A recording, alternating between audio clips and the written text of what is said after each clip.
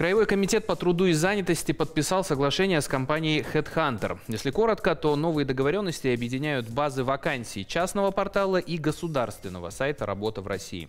Какие плюсы от сотрудничества получат соискатели и работодатели, выясняла Марианна Гейт. Комитет по труду и занятости правительства Хабаровского края и одна из крупнейших российских онлайн-платформ по поиску работы и сотрудников Headhunter сегодня подписывает соглашение. Что это дает в том числе и для соискателей, а также как это технически будет выглядеть на сайте «Труд всем» будем узнавать. Первое – это соблюдение федерального законодательства, потому что у нас по федеральному закону о занятости все работодатели обязаны свои вакансии представлять в органы службы занятости. То есть это технически некое объединение баз данных?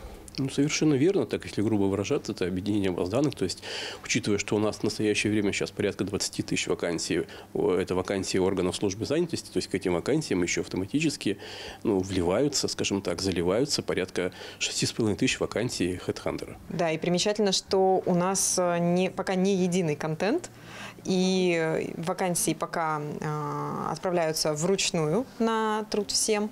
И если говорить про э, автоматическую настройку, когда мы уже все сделаем и проведем полноценно все интеграции, чтобы все шло автоматически, эта цифра еще больше увеличится. Второе.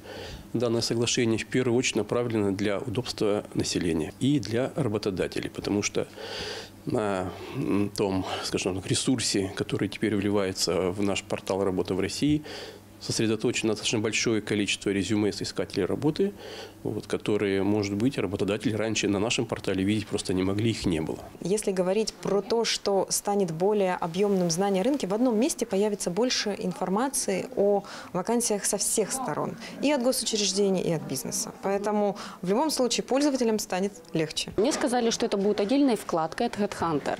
А Вы говорите, что нет, это будет все-таки... Нет, это един- будет оформлено как вкладка, но это все в рамках одного портала. А. Да, конечно, это все будет в рамках одного портала. Сейчас дело в том, что сейчас работодатели вынуждены руками заносить этот контент самостоятельно, не э, проводя его автоматически от HeadHunter.